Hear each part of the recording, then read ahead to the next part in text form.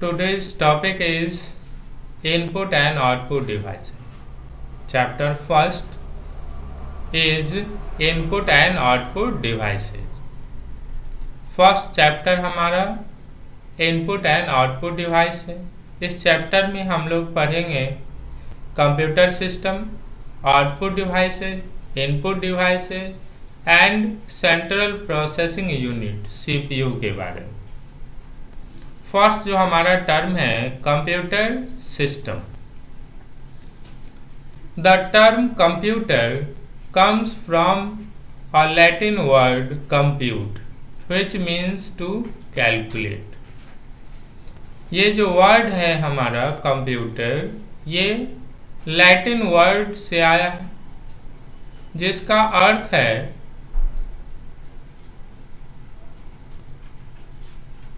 To calculate computer word जो Latin word है compute compute से बना है हमारा कंप्यूटर और उस लैटिन वर्ड कंप्यूट का अर्थ होता है टू कैलकुलेट गणना करना और गिनती करना कैलकुलेशन करना. Computers were originally considered to be fast calculating device used for performing arithmetic calculations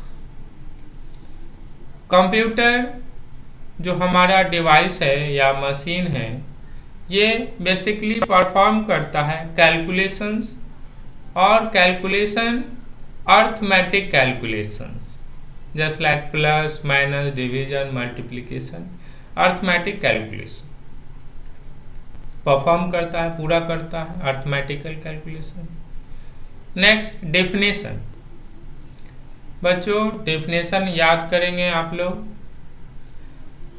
An electronic device that manipulates information और data it takes data process it and produces the result computer का system का definition क्या है?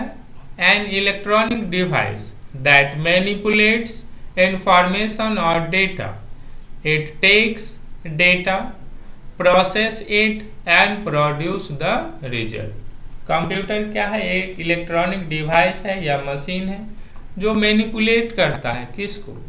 Calculation करता है इन data को। It takes data ये क्या करता है हमसे? डेटा को लेता है। उसको प्रोसेस करता है और प्रोसेस करने के बाद हमको रिज़ल्ट प्रोड्यूस करता है प्रोवाइड करता है, देता है। एक computer is an electronic machine that works on the principle of input process output IPO cycle in short. This can be understood in the following way. इसको हम लोग समझेंगे कि हमारा कंप्यूटर वर्क कैसे करता है? Firstly it receives data and instruction which we feed into it using input device ये हमसे पहले क्या करता है? इनपुट लेता है। With the help of keyboard. After that, it stores and process the instruction we feed into it जो भी हमने इसको इंस्ट्रक्शन दिया है कमांड दिया है इनपुट डिवाइस के द्वारा उसको प्रोसेस करेगा। कौन सीपीयू सेंट्रल प्रोसेसिंग यूनिट इसको ब्रेन ऑफ़ कंप्यूटर भी कहा जाता है। CPU is the brain of computer next it provides the result using output device processing के बाद हमको क्या करता है ये? आउटपुट और रिज़ल्ट प्रोवाइड करता कहाँ? मॉनिटर तो ये जो आईपीओ साइकिल है हमारा firstly input then process then output input करेंगे कीबोर्ड के द्वारा प्रोसेस करेगा हमारा सीपीयू सेंट्रल प्रोसेसिंग यूनिट और आउटपुट कहाँ शो करेगा? मॉनिटर पे। Next, we already know the computer is made up of hardware and software. जैसा कि हम लोग पहले से जानते हैं कंप्यूटर जो बना हुआ है हार्डवेयर और सॉफ्टवेयर को मिलके, मिला करके।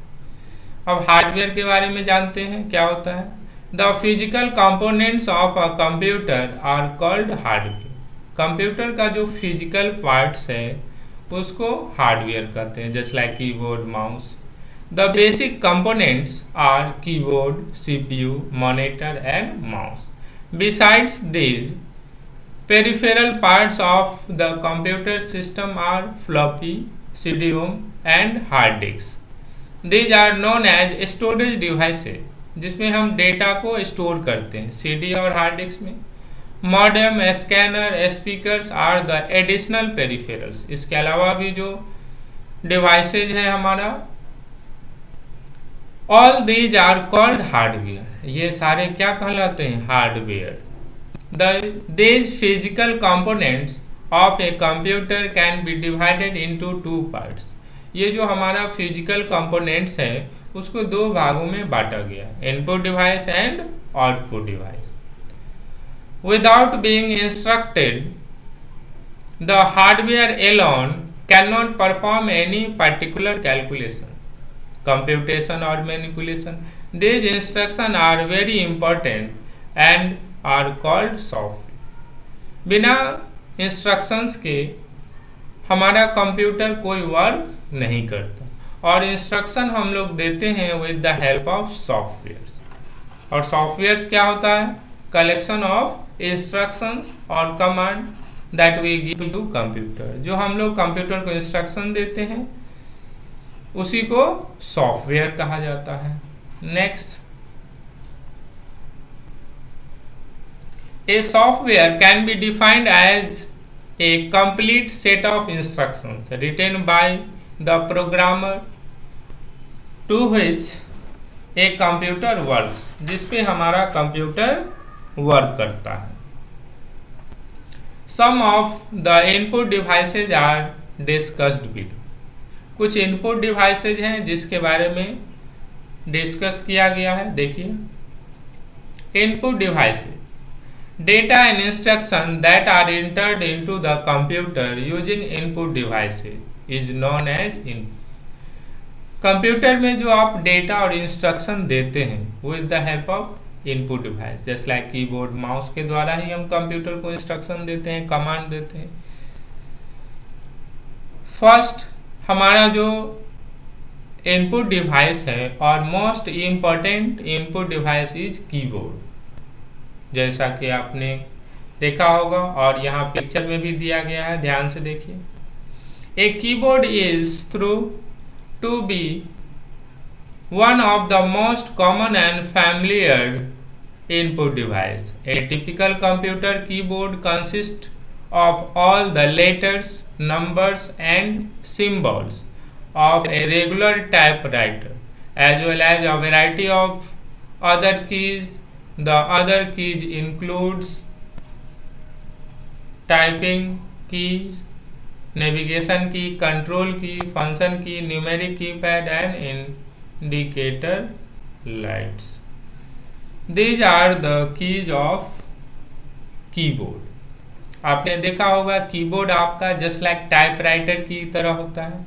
इसमें सारे बटन्स हैं alphabets A to Z number zero to nine और स्पेशल सिंबल्स भी होते हैं, जैसे at the rate plus minus dollar का साइन परसेंटेज का साइन स्टार हैश, ये सारे स्पेशल सिंबल के अंतर्गत आते हैं। फ़र्स्ट टाइपिंग की के बारे में जानते हैं। Typing key are use to type alphabets इसके द्वारा हम अल्फ़ाबेट टाइप करते हैं। There are twenty six alphabet key और letter key containing letters A to Z जैसा कि आप जानते हैं। These keys consist of numbers numeric keypad punctuation marks and special symbol these are also include the shift key caps lock key space bar back space and the tab keys इसके बारे में एक एक करके हम लोग पढ़ेंगे। नेक्स्ट न्यूमेरिक की जानते हैं टाइपिंग की मेनली अल्फ़ाबेट्स होता है, जो A to Z twenty six letter होते हैं।